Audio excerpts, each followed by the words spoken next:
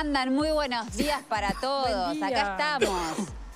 Ah. Llueve de frío. No, No. saben el frío que Eh. hace. Ay, qué Bueno, ya saben porque la verdad que todo el fin de semana hubo unas temperaturas impresionantes y vamos a saludar al que sabe de verdad sobre el clima. Al que sabe posta, Coco. Claro, no te obvio, ofendas, obvio, porque gracias, vos confiamos, por- pero más en el por- señor Videgain. Pensé que era a mí, te juro. ¿Cómo anda? ¿Todo bien? Bien, buenos días, a pesar de la llovizna fría y, y congelante. Bueno, estamos en el medio de una ola de frío que ¿por cuánto se va a extender? Bueno, lamentablemente, digamos, vamos a decir que se va a extender prácticamente todo el resto de esta semana. Van a continuar las bajas temperaturas, lamentablemente, porque las máximas no van a superar prácticamente los 10 grados en Montevideo y las mínimas las vamos a tener muy cerca de 0 grados. Estamos hablando eh, mínima al abrigo de 2, 3 grados e incluso 0 grados, obviamente, a nivel de, de suelo. Eh, posiblemente estas próximas dos madrugadas, ahora del día martes y miércoles, sean las más frías de esta semana. Y esperamos, ahí sí tenemos una gran esperanza porque los modelos están indicando eso, que vamos a tener un, un repunte importante de las temperaturas a partir de la próxima semana. O sea, vamos a pasar de el invierno crudo al veranillo, por así decirlo, en pleno julio. Eh, o, sea, o sea que después de que se viene, se viene ahora una semana que, que seguimos así con estas temperaturas y después aumenta la temperatura en veranillo, pero ¿de, de qué, cuántos grados estamos No, hablando? Estamos hablando que hay un repunte importante de máximas que van a pasar cerca de entre 15 y 20 grados, estamos hablando, y mínimas que también van a estar alrededor de los 10 grados, o sea, estamos hablando de temperaturas eh, primaverales en pleno julio, ¿no? O sea, dos semanas, entonces vamos a tener las primeras dos semanas de julio muy frías, con ola de frío prácticamente continua, y otras dos semanas aparentemente de julio que tal vez compensen este, este frío, ¿no? Mario, me decías que hace muchísimos años que no se registraban temperaturas tan bajas en el mes de julio.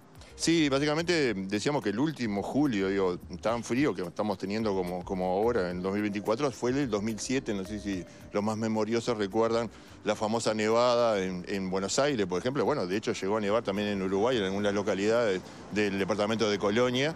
Y eso, eh, ese julio es el más frío que tenemos registrado por lo menos en los últimos 20 años. ¿no? ¿Cuáles fueron la- las zonas del país más afectadas por el frío? Bueno, siempre, como es costumbre, digo, del centro-sur del país, estamos hablando de departamentos como Durazno, Florida, mismo Canelones, bueno, La Valleja, la zona de Serranía, son las más afectadas por las bajas temperaturas. Y bueno, en, este, en esta semana pasada y en esta próxima semana que estamos comenzando, también van a continuar las heladas fundamentalmente en el centro-sur del país.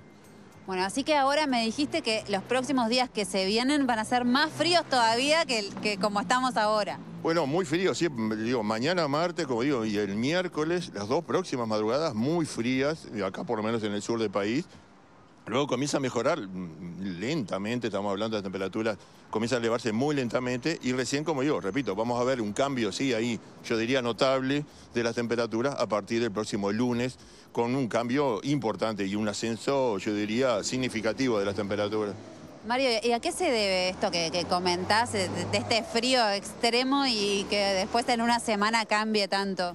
No, lo que pasa es que hemos tenido una situación que es típica de invierno, pero que en esta situación típica de invierno, en realidad, en los inviernos comunes, diríamos, se mantiene dos o tres días continuos. Acá lo que estamos teniendo que esa situación de invierno se ha venido manteniendo durante toda esta semana, 10 días prácticamente, y va a continuar estos próximos 6, 7 días. O sea que vamos a tener prácticamente más de 15 días de un invierno, una situación de invierno continua cosa que no es común incluso dentro del, del invierno.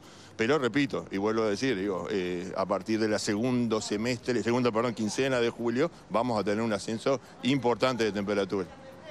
¿Cuál es la mínima que se espera para mañana? Así ya me voy preparando mentalmente. No, mínimas al abrigo, estamos hablando de Montevideo de 2 grados, y, pero eh, obviamente a nivel de suelo vamos a tener heladas, 0 grados a nivel de suelo, tanto, repito, mañana como la madrugada del miércoles.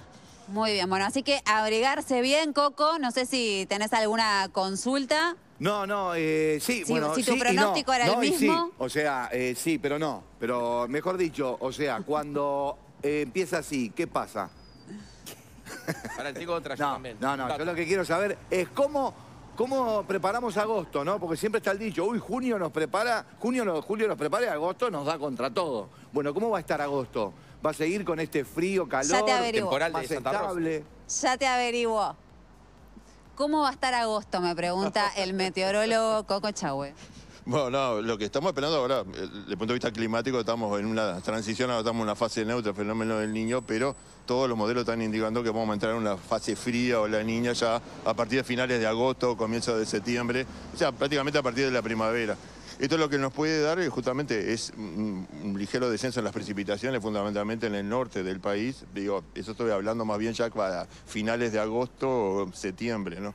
Y eh, en lo que sería en temperatura, lo que se está esperando es condiciones prácticamente normales, digo, en lo que sería el trimestre julio, agosto, septiembre, excepto en el litoral oeste del país, ¿no? Todo lo que es la cuenca del río Uruguay, estamos hablando del departamento de Salto, Paysandú, Río Negro, Soriano, con temperatura sí, algo por debajo de lo normal, incluido agosto, decíamos. Muchísimas gracias, Mario, por estos Por minutos. favor, a las órdenes.